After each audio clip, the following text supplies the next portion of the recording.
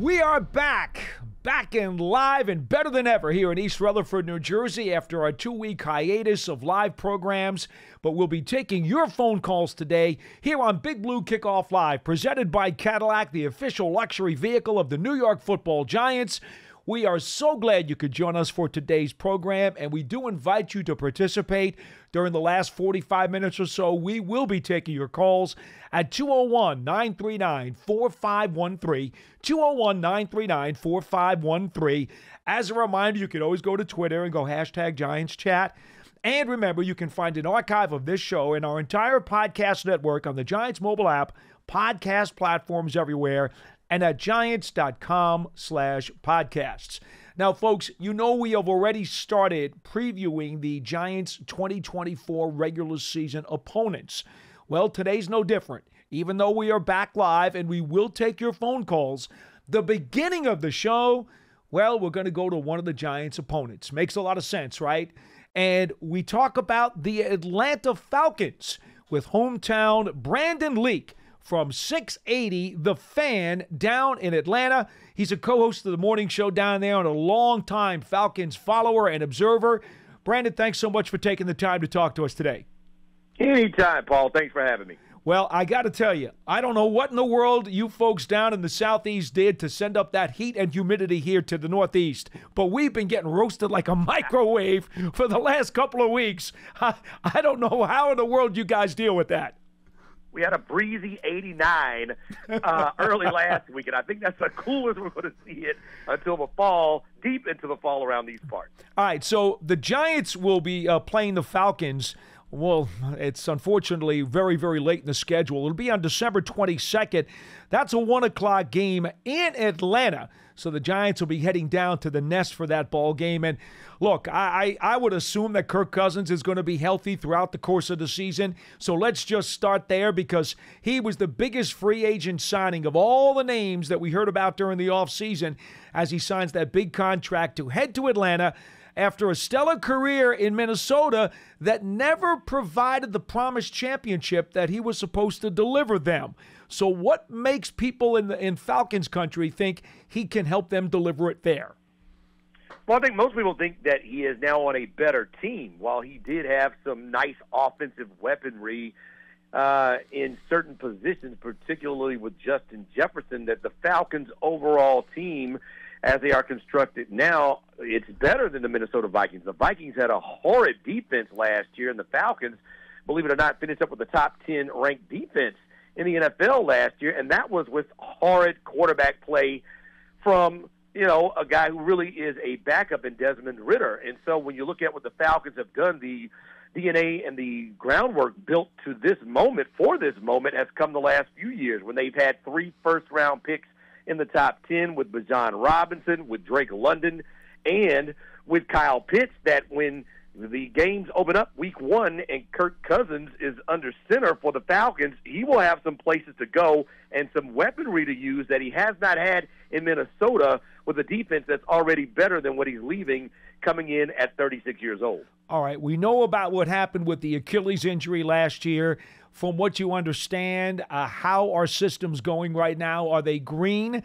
And if so, uh, how much work has he been able to get in as he tries to acclimate himself? Falcons have been really honest about that, and he is currently on schedule. Now, on schedule, you know, means around when you talk about the time frame of his Achilles healing and the entirety of the process. You're still talking about around preseason for him to be completely healed through the timeline. But uh, he got to uh, minicamp pretty early. He went to uh, non-mandatory events and got himself acclimated with his wide receiver. So everything looks like it's going to be all systems go.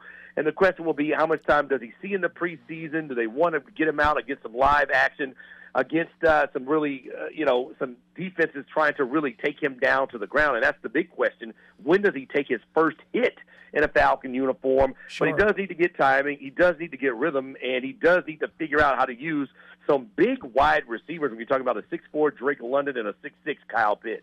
So you got the quarterback in waiting in drafting Michael Penix obviously in the first round. Everybody knows about these QBs when they get picked right in that first round. And Taylor Heinicke, I suppose, unless you tell me something otherwise, will start the season as the number two, will he not?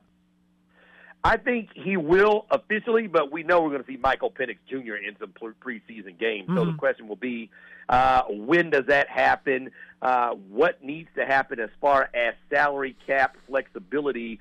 Uh, Taylor Heinicke is not an expensive option, but when you have Michael Penix Jr., a first round pick, uh, sitting there, and the other thing is he's an older player. Michael Penix isn't a 21 year old. You're talking about a guy who uh, spent six years in college because of both uh, ACLs that he blew out. Uh, he's a he's an older quarterback coming out, so I think if he can prove that he is uh, trustworthy, because at some point he will be the number two, and uh, if he proves that he's trustworthy early, it, it'll be interesting to see how long Taylor Heinicke remains on this roster. But I agree with you. To start the season, first preseason game, you got to think you'll have a veteran quarterback that's been out on the field that has won games in the NFL. Got some talented skill position players there, and Robinson and Pitts and London. Uh, certainly, no question about some of the weaponry. But I want to go to Pitts for a second. I remember when he came out in the draft a couple years back everybody was like, oh my God, this guy is like all universe at tight end. Now, you can tell me from watching him week to week and snap to snap if he is even close to fulfilling the expectations. I will only say this from being a far uh, reaching observer uh, we don't get to see Falcons football very much, obviously, here in New York. It doesn't seem like he has lived up to his billing to this point. Am I right? Am I wrong? If I'm right, how far off is he? And does Cousins bring out the best in him? No, you're spot on with that. The question, though, is why? Is it because he has not panned out? He is not exactly what they thought he was. Remember, when he was coming out of the University of Florida, he was considered to be a unicorn. Look yes. at this guy. He's tight end. He's six six. Well, he has an interesting narrative in that his first year was the last year with Matt Ryan, the franchise all-time leading quarterback, and he was a few yards away from breaking a 60-year-old tight end record held by Mike Ditka his first year when he went over a thousand yards receiving. Enter his second year, and you know a quarter of the way through, he blows out his knee. He comes back last year, and it just didn't look right. I remember we got to training camp last year, and he had the biggest knee brace I have ever seen. Paul, it looked like it was a knee brace for two people that he shoved his leg into, and we were like, "What in the world?" He was supposed to have surgery. He was supposed to have recovered, and you know, I guess the Falcons did what was supposed to be uh, the right thing to do as far as the rules, but he clearly did not look right. He had a, a little gait uh, to his uh, giddy up last year, but had a chance with our morning show down here in Atlanta, the locker room earlier this year. We went and um, covered one of his uh, charity events at a uh, golf outing, and we got a chance to physically look at him, and he was not, he had no limp. He had nothing going on, and he looked like maybe whatever was going on, it may have taken two years to get ready. So the question mm. is, has he had unfulfilled expectations because of the injury? Plus, you throw in before Desmond Ridder, there was the I call it the lost season with Marcus Mariota, who yeah. quit on the team uh, week 12 when he was told he was not going to be the starter anymore and he was going to have to be a backup to Desmond Ridder. He quit, went to Hawaii, and spent the rest of the season with his wife as he had surgery to uh, finish up his Falcon career, which he could have had after the season, but chose to have it the last four weeks. So he's played with one year of Matt Ryan, thousand plus yard, almost uh, broke a record season. Comes in with Marcus Mariota, blows out his knee. Then he has Desmond Ridder, who's a backup quarterback, and now he has Kirk Cousins. I think there is a big ceiling and a big potential for for Kyle Pitts to achieve if he's healthy, and this offensive line does a lot of what people think it will be able to do. Well, we'll talk about that line in a second. Obviously, Cousins needs the protection to get the ball to London and Moore and Pitts and some of these other guys. But I want to go to Bijan Robinson, a guy who had been hurt in college, but last year had nearly a thousand yards as as one of the NFL's star rookies in the game. Can you give me an indication as to what they think his upside will be as a sophomore pro?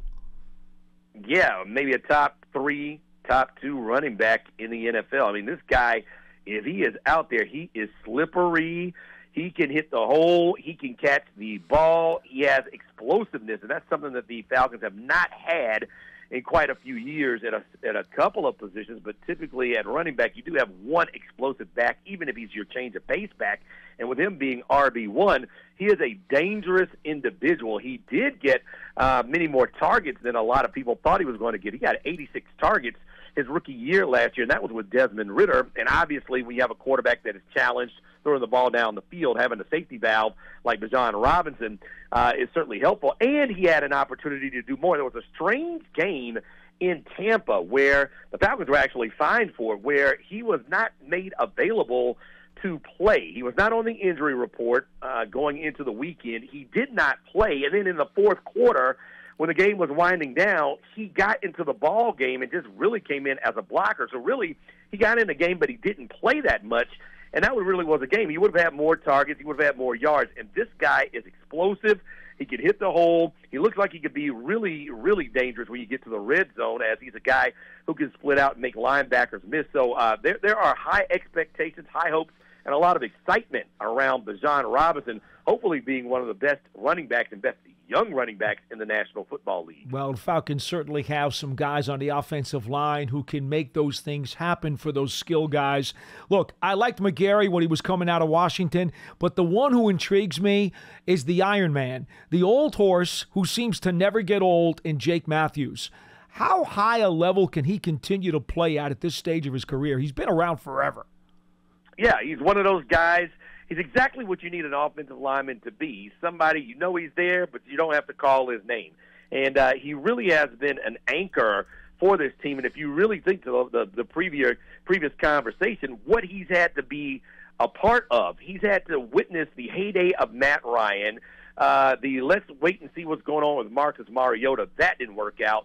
The disaster that was Desmond Ridder, and now he's got Kirk Cousins coming in. He has had to really teach and do a lot of extra outside of his positions when you're talking about uh, having a situation where the left guard had to be taught. So when you're talking about being a veteran offensive lineman, and then you have to show the guy right next to you and teach some things and get the communication uh, with the guy next to you as an extra part of your job, th- this guy really has been solid, and we're hopeful. A lot of people are hopeful down here that the Falcons will have him and this offensive line not only run, they did a very good job of run blocking. The question will be, can they pass block at an elite level for 17 weeks for a quarterback like Kirk Cousins, who will not leave the pocket unless he absolutely right. has to, and he's coming off of an injury. I think you guys have the fountain of youth down there. I remember Mike Kenn and I remember Jeff Van Note who two two guys were like Methuselah's relatives, right? They they just never seem to retire. In fact, I still think those guys are playing for God's sakes. And here's Matthews following in their footsteps. I don't know how in the world the Falcons do it, but they hold on to these quality linemen forever. It's amazing. It really is. Yeah, you look at you know, Noter was one of the all timers, as uh, they say he's a genius, that he has a photographic memory. You know, having guys like that who are lo- around for a long time you know, back in the '90s, they had a big like guy that played with with you guys when you're talking about Big Bob Whitfield, sure. who was one of those um, mountains of a man that could really be counted on and beat people up. And you know that is yet to be seen. You can be a good and physical run team. You can do a solid job in the passing game, but can you beat people up and beat different types of defenses, uh, defenses and people up? That is yet to be seen. But uh, certainly, if that is going to be part of the case, then you're going to need a veteran offensive lineman to be a part of that, lead the way, and show it by not giving up stats or some whiffs on your quarterback when you have key moments in games. You got another gray beard and Grady Jarrett over on the defensive line. David Onyemata coming over from the Saints, who I thought was an underrated player when he was in New Orleans. That's your beef up front. And then the linebacking corps has an old familiar face who signed with you guys down in Atlanta a couple years ago from the Giants, Lorenzo Carter. How about uh, giving us a little bit of a thumbnail as to what you expect out of the front seven this year? Yeah, Zo Carter, also a UGA Bulldog, so he's big and well respected down these parts. You know, with the selection of Michael Penix Jr., it tipped the hand of the Falcons. It was, you know, you had an opportunity uh, maybe to get yourself an edge rusher or another big fella early, and when you went quarterback, you decided to go with the beef that you had. So you mentioned Grady Jarrett, and there are some big fellas. Kentavius Street, uh, they picked up last year from uh, the Eagles. They draft Ruke Orhorhoro uh, big fella. He looks like Grady Jarrett a little bit out of Clemson. Uh-huh. And then you mentioned Onyemata, who is a uh, beast, and he always goes for it. They also have a big fella named Ta'Quon Graham, and then they drafted Brandon Dorlus this year. So the front seven is going to be a rotation. I think that will probably be the more settling unit. The question will be the linebacking corps because they're going to go from a traditional 4 3 to more of a 3 4. They'll be hybrid, and they always play multiple, like most guys say. Uh, but they're going to go to a 3 4. So we have Lorenzo Carter, and they get Bralen Trice out of Washington, who is a athletic looking linebacker, uh, 6'3, 240, 245. Then you throw in Kaden Elliss, who came over from the Saints. So they do have some veterans mixed in with some young guys. Troy Anderson was their first round pick two years ago, and he left with a pectoral injury. So the linebacking position is the biggest question mark. I think if you had to rate the Falcons, it would be linebacker question mark number one, defensive back question mark number two, and you're probably most solid up front with the biggins with your defensive linemen. Yeah, see, I was going to say to you from afar, I'm thinking the secondary right now seems to be kind of shaky for me. Certainly not a lot of household names back there at all. No, no, no. AJ Terrell has been there the longest, and look, he's he is a solid cornerback. He is not one of your. I would not put him in the elite category where you don't throw that side of field of the field, or else you're going to be in big trouble.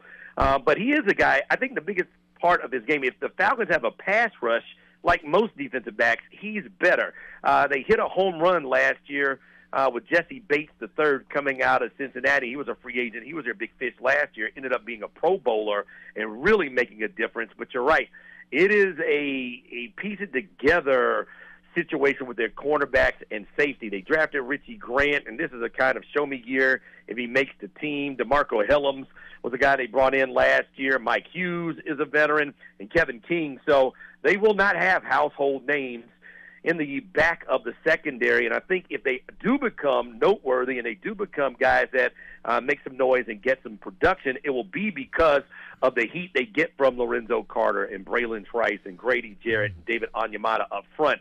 And I think those guys will be the beneficiaries of really a front seven that helps them out until they figure out what kind of talent they can get in that is elite down the road. Well, I'll tell you what, I appreciate the fact that that game will be inside on December 22nd. We don't have to worry about the cold in Atlanta. it will be 72 degrees. I can promise you that, Paul. Yeah, I, am I'm, I'm sure. I'm going to hold you to that. Home team Brandon Leak from the fan 680 in Atlanta, giving us the lowdown on the Atlanta Falcons, a team that will play the Giants later on during the course of the 2024 season. Thank you so much for joining us today, Brandon. Be well. Anytime. Have me anytime you can, sir. All right. Appreciate it. 201 939 4513. So the Falcons check that box off on our opponent's previews as we continue to go through the 2024 Giants schedule. On tomorrow's program, that would be Tuesday, if you're listening on the archive, just to make sure you got the days straight, we're going to try to track down somebody from the Indianapolis Colts, another one of the Giants' foes during this upcoming season. Folks, remember as we uh, go through some of our promos, the Run or Walk with Giants Legends event. We keep talking about that. Well, it's coming up soon. The Giants Foundation will host a 5K race and kids run presented by Quest that Saturday, September 7th at 9 a.m. at MetLife Stadium. Net proceeds will benefit the Giants Foundation. All participants will receive a commemorative t-shirt and after the race, stay for a post-race festival and appearances by Giants legends and a live DJ. Register now at giants.com slash 5K. Also, remember to subscribe to the Giants Huddle podcast, long form interviews with Giants and NFL personnel. Uh, you can find it on your favorite podcast platform or go to giants.com slash podcasts. And don't forget, if you're on Apple Podcasts, leave a positive review. Helps us with the ratings and lets us know that you like the program. And Giants season ticket memberships are available uh, for the 2024 season. You get exclusive member benefits year round. To learn more all about those, visit giants.com slash tickets. Limited inventory is available, and the Giants official connected TV streaming app is Giants TV. Uh, it's free on Apple TV, Roku, Amazon Fire TV, and the Giants mobile app. One final note to bring you, and that is Giants training camp practices are free and open to the public beginning on the 24th of July. However, all of the free tickets that were distributed through the internet site have been claimed. So it is a sellout. Perhaps you've got some friends or family who can't use their tickets and will send them off to you as a, as a nice gesture of goodwill, or perhaps they just uh, can't, you know, just want to bring you along or just let you go for whatever the reason. Uh, but there are no more tickets available. I remember when we were still live two weeks ago, we were telling you folks about that, and everybody hopped on the internet and they scapped up those tickets like hotcakes at, at a pancake house. And so they are all gone. And I, I, apologize. There's only so many stands that they can put up outside the facility. Uh, they have sold out all of the tickets for Giants training camp. So now that we've got that stuff out of the way, the rest of the show is up to you folks at 201 939 4513. 201 939 4513 here on Big Blue Kickoff Live. We go to Greg in Atlanta. How about that? We're staying in Georgia for the first call of the program. Hello, you're first on the program. Hey, how you doing, Paul? Good to talk to you. How are you?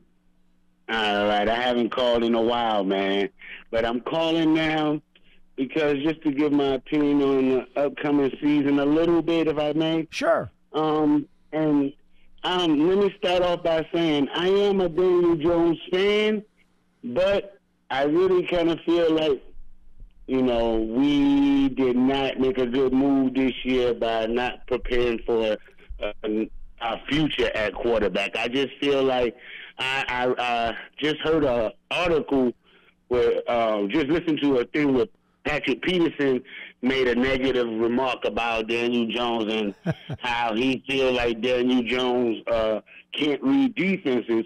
And the only reason I'm bringing it up because that's what I've been telling my friends the last couple of years, just looking at him and how jittery he is. I understand our offensive line hasn't quite been what it should be, but just looking at how Daniel Jones sometimes take off, you know, before. It just seems like he's not comfortable yeah. with hanging in the pocket. You you wouldn't be, be you, problem this year. You wouldn't be comfortable in the pocket if you were feeling as much pressure as a pressure cooker back there either.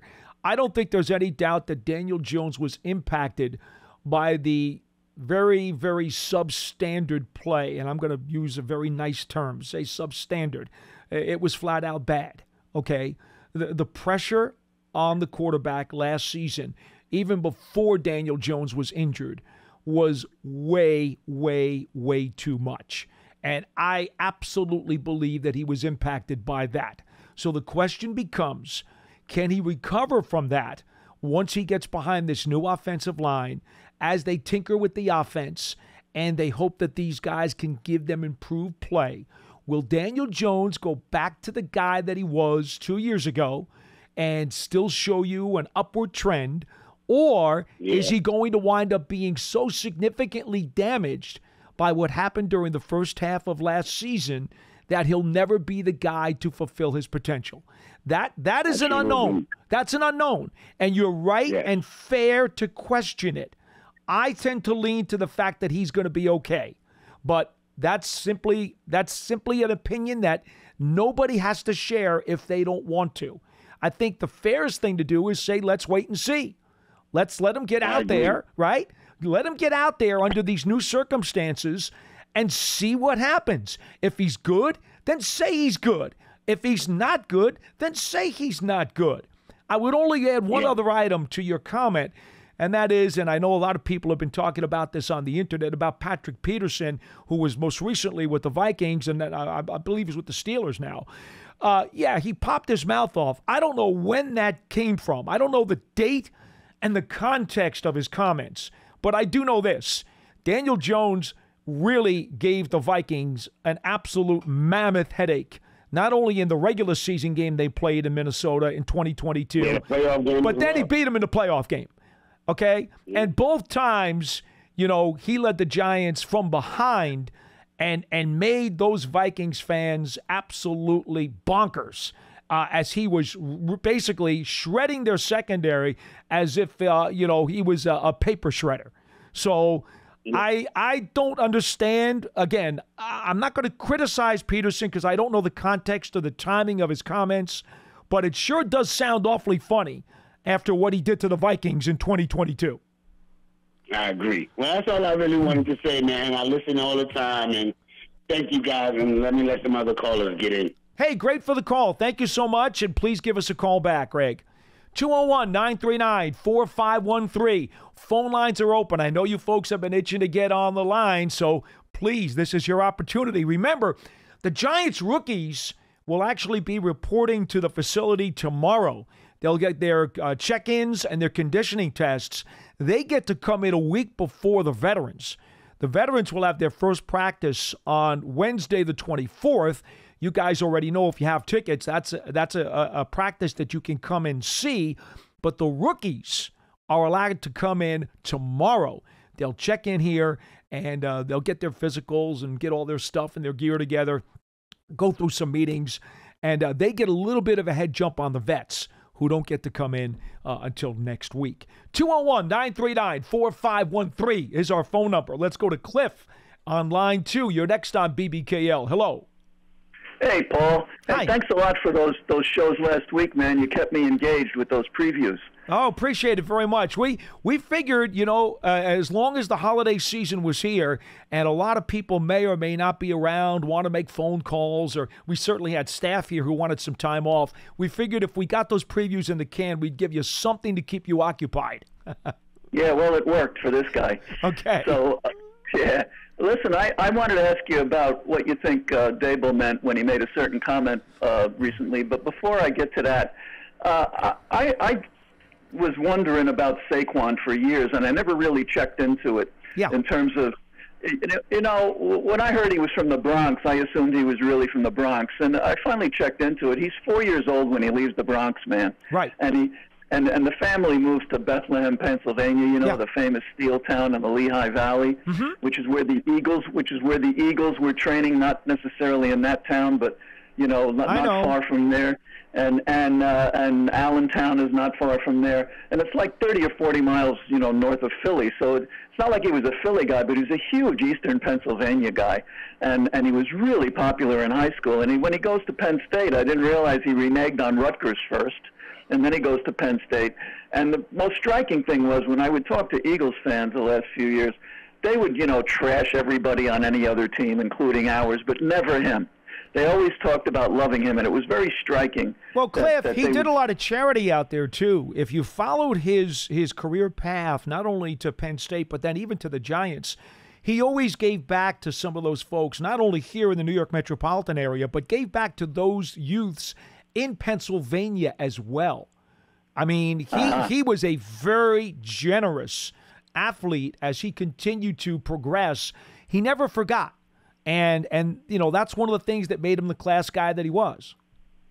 Absolutely, but I think it's one of the things that made him sign with the Eagles. I think- I I'm mean, not. uh, I, I can't tell you how much of a percentage was involved in that, but I'll say this: Don't you find it kind of odd that there were rumors there'd be a heavy market for him, and there were four or five other teams that were supposedly playoff contenders that we heard they had cap room and they were going to make a heavy pitch for Barkley. Well, if that was true, right, then why wouldn't his agent have held on to Barkley for a little while and tried to negotiate and tried to use those teams as leverage and get an even better deal? I say the reason right. I say the reason is because the deal that the Eagles gave him was so outlandish. It was so out of this world that Barkley and his people knew they weren't going to get another deal like that, so they jumped on it right away before it disappeared. Philadelphia Okay. did not make a good business decision. They're rolling the dice, they're taking a risk that he's going to be healthy for at least a year, maybe two, and that he can get them to the Super Bowl because he's an incredible talent. And I will never, ever dispute his talent. The guy is one of the best three running backs in the National Football League in terms of all around ability. But because of the durability factor, and the continuing injury problems that have plagued him throughout, that's what makes him a bad financial risk when you put the kind of money on the table that the Eagles did. And I think him and his people knew they were not going to get another large number akin to that one in the depressed running back market.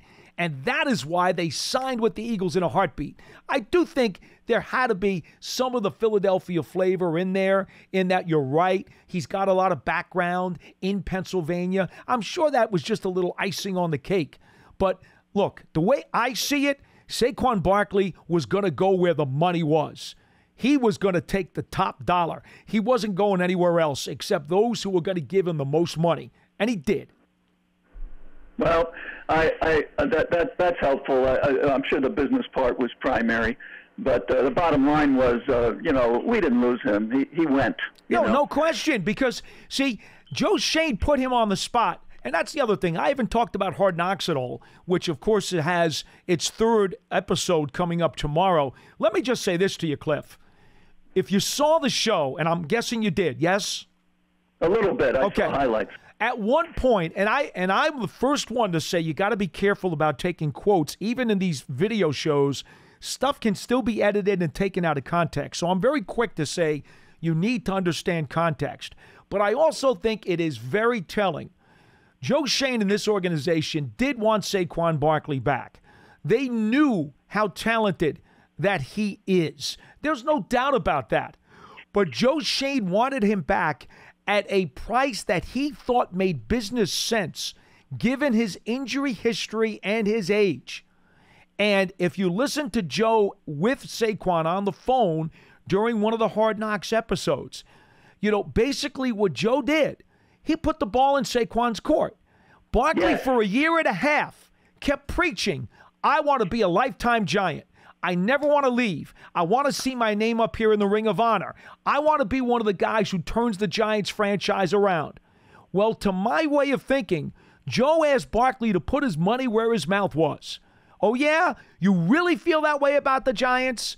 Well, we don't have the kind of numbers and the kind of money to afford under the cap to be outlandish and pay you crazy numbers. So you're going to have to take what we can afford and show us that you really want to be here. And Barkley Right, gave and you he gave you his answer when he decided to go to Philadelphia and take the gold. Right, and just to finish that up, I'm glad you said a year and a half because I thought it affected both contracts, including the one that ended up being the franchise last year. Mm-hmm. You know, I, I really do.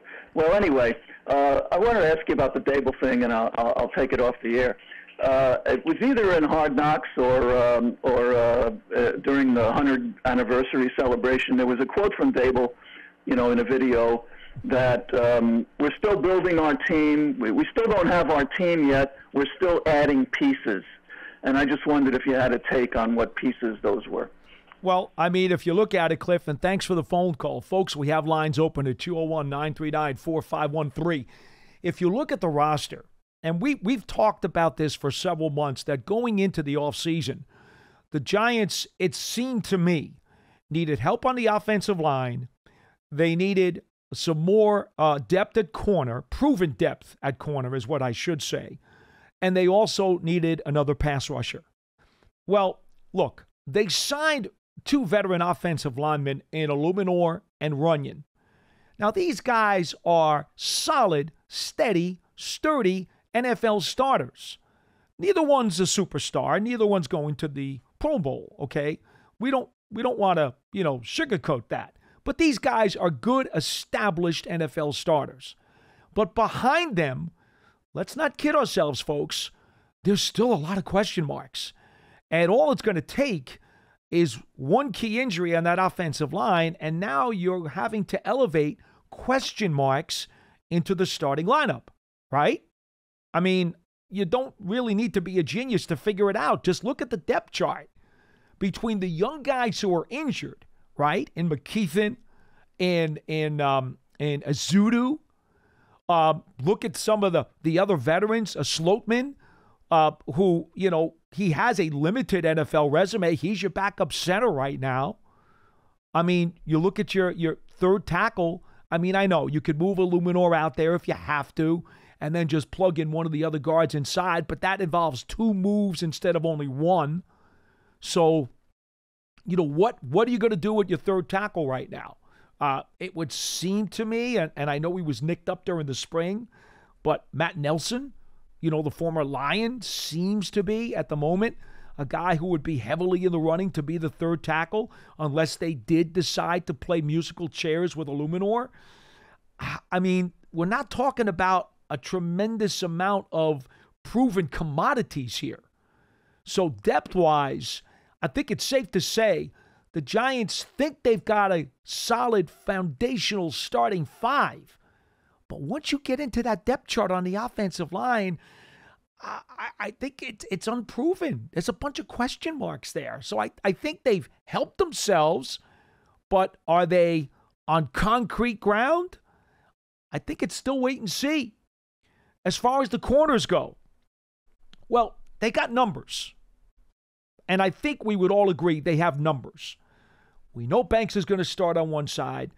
I'm a big Cordell Flott guy, but even I have to admit, while I love, love his attitude and think he has the ability to, to shine as a boundary corner, he's still relatively unproven. So you've got McCloud, you've got Hawkins, you got Herndon. You know, Dru Phillips was drafted in the third round out of Kentucky, but excuse me, they expect him to be a slot guy and compete in the slot. So you have a bunch of unproven guys, but at least potential answers at the corner opposite Banks.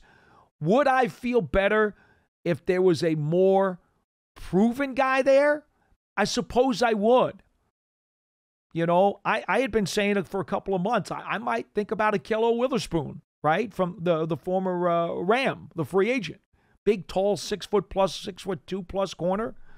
Uh, I suggested him while he was out on the street because it seems to me that you know, I would probably feel more comfortable if I could have a veteran corner with a long established pro resume to not only help out some of those guys, but maybe actually play if he needed to.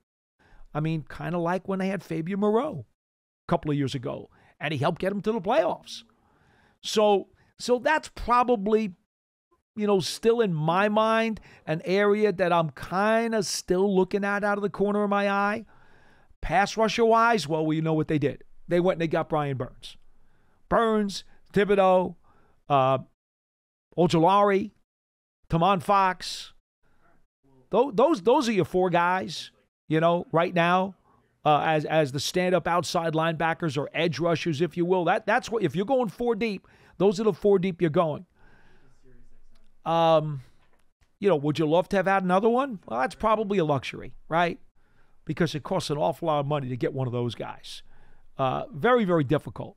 So you're going to have to hope that either Ojulari stays healthy and is more efficient this year than he was last year, if he's going to at least play in a rotation, or you hope that Tomon Fox takes a step up because he certainly showed some things, you know, as a rookie but can he step up to another level? And who knows, maybe unseat Ojulari? I don't know the answer to that. That's still a question. So for me, for me, those are the three areas that I went into during the offseason saying, what are the Giants going to do?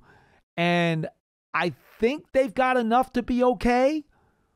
But if injuries strike any of those positions, it could get real sticky in a hurry.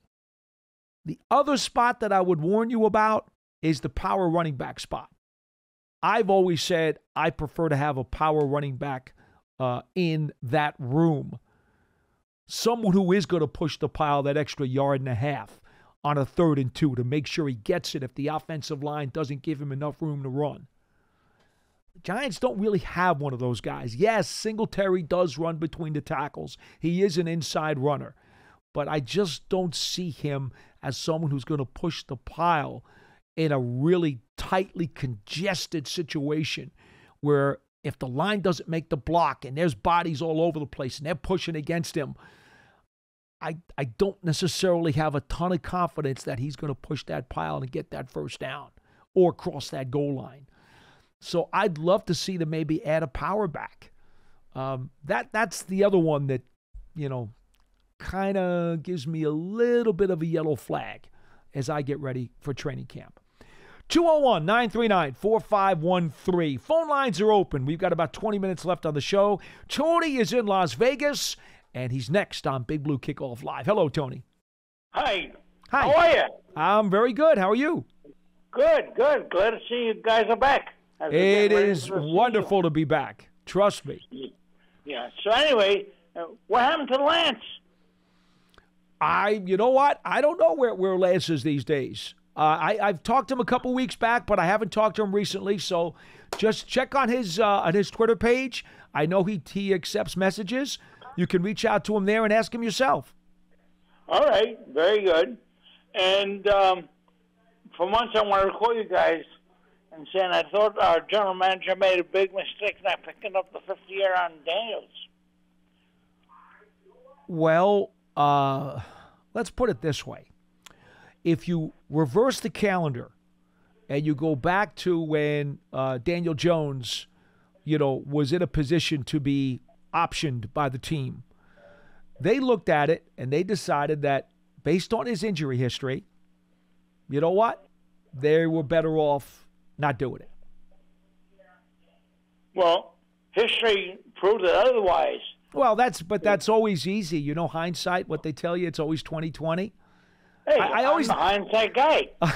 Okay, and that's fair. I love the fact that you admit to that because most people who criticize using hindsight won't admit that they're 2020 guys and that they will look at it from the reverse angle. So I appreciate that you admit to that because oh, that's oh, absolutely. It's a, it's I it's a, would have been better off. well, it's an unfair way to look at it. Hurt so much less year. Right. I understand.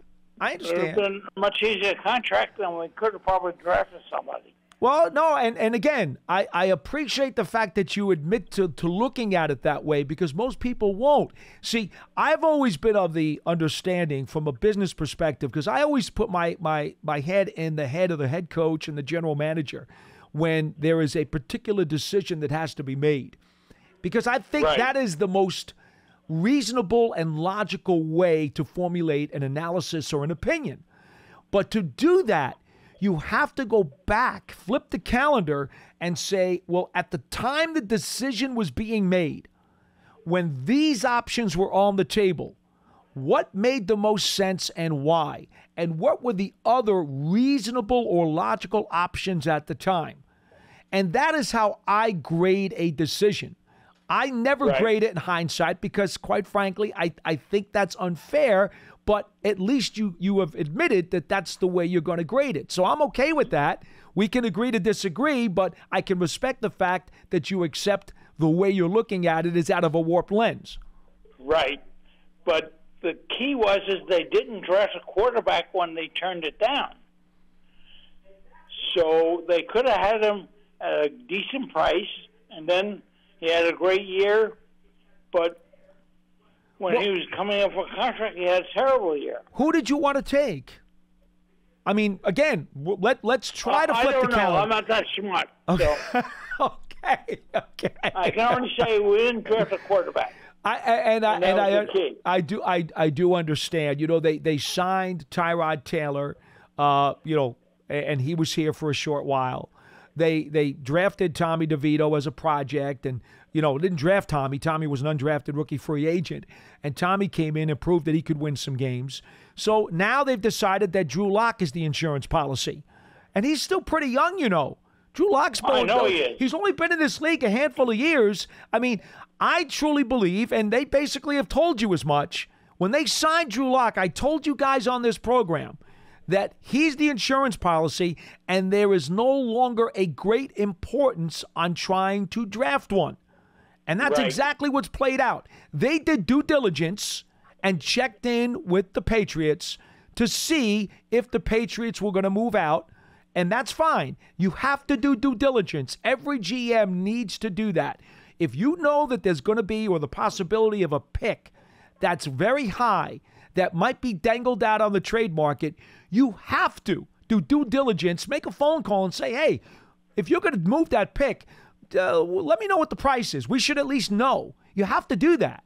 So that's what the Giants did. But clearly, they were not desperate to go after a quarterback because they believe that Drew Lock is an adequate insurance policy, Well, and I'm I think so too. This past year, I was talking about back when they didn't pick up his Right. option. Well, that's water under the bridge. That's kind of too late at this point. I know. I, You but know. Been for the last year. Want to call and give my viewpoint on. it. That's okay. You know, my first game that I ever went to What's that, sir? was the uh, championship game against Baltimore. So, so Tony, we talk. 59. We're talking fifteen. uh, The one at Municipal Stadium. It was a giant. No, yeah, Giant Stadium. No, well, One yeah. of my suppliers, I was the- 19 years old and All right. stuff. In he says, 50 you want to go to the game? I said, what game? Giants against the Colts. I went. All right, now in And fifty. next year, I became a season ticket holder, and I was for 40 years. Oh, that's awesome. Now, in 58, the Colts beat the Giants in the greatest game ever played, the 58 championship game in overtime. Right. That's the game you're talking about. Yeah, absolutely. In 59, they had a rematch in the championship game against the Colts down in Baltimore at Municipal Stadium, and the Colts ran away with the game. Right. Okay. Yeah. Thanks You for the call, Tony. memory me. All right, thank you. Thank you. Keep enjoying uh, Giants football. 201 939 4513.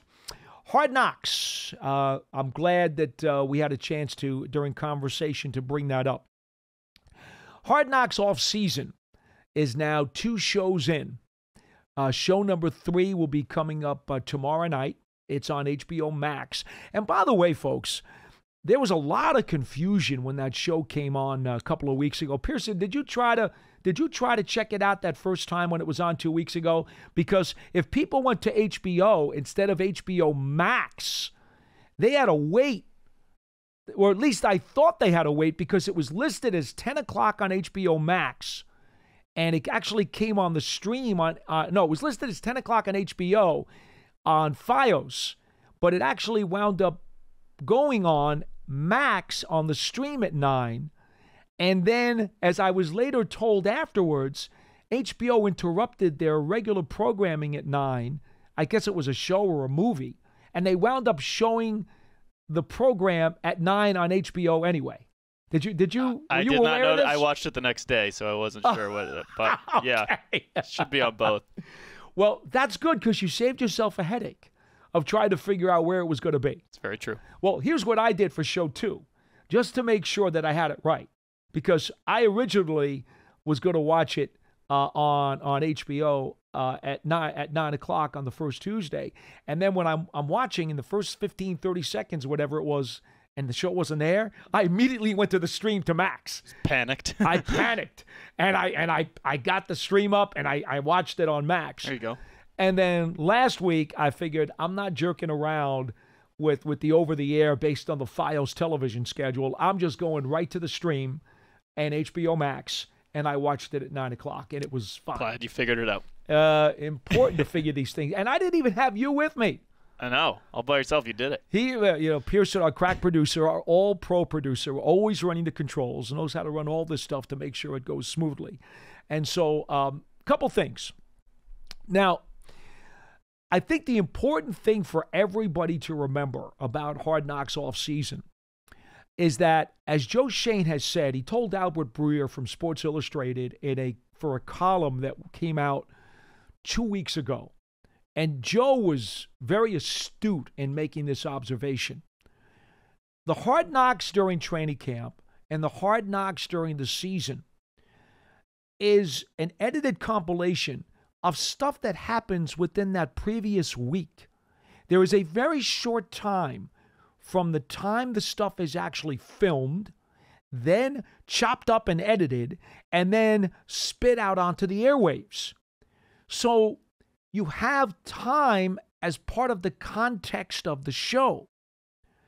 This is the first ever Hard Knocks off season, which lends itself to a very different dynamic because you don't know exactly, and I know that during the course of the program, they do flash up a screen with a chyron indicating the date of some of the conversations and, and things that were taking place, including the combine. But I think what's important to note is that you truly don't know specifically the time for a lot of the comments when they occurred. Now, for example, I remember being at the Giants 100th season celebration over at MSG, and they showed a preview of the program. And Shane Bowen, the brand new defensive coordinator who came in in February, was quoted in a clip. Pearson, you probably remember this. He was quoted in a clip talking about uh, the kind of defense that he was going to play, the type of scheme that he wanted to play.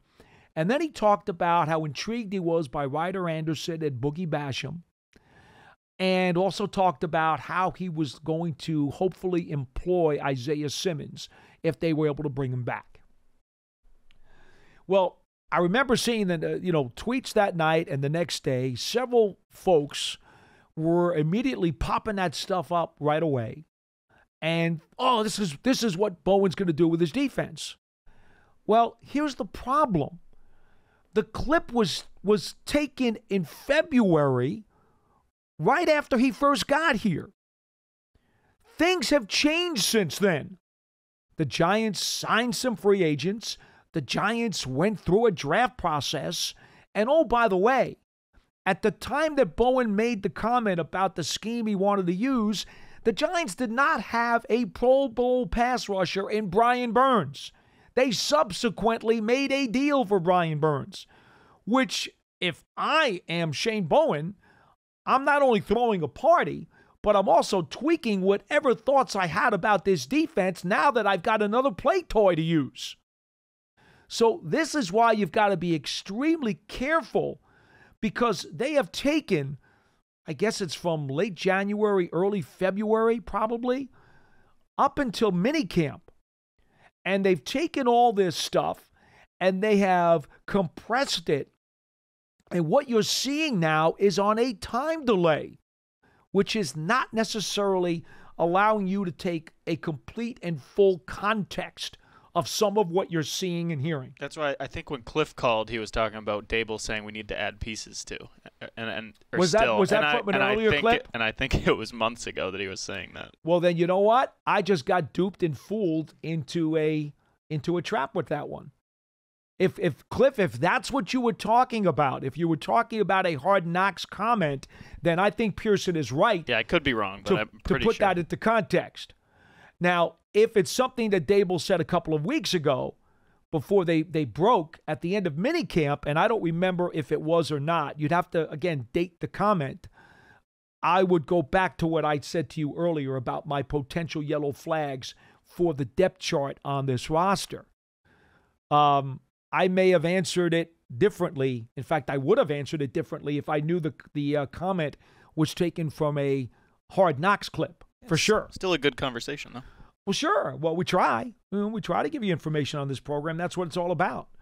So, in any event, I think that's the most important thing for everybody to realize is that even though they will occasionally put a, a date up on the screen for for the Hard Knocks program, you know, not everything that was said is said particularly, you know, in the context of now of where we are now. It's said in the context of maybe that time.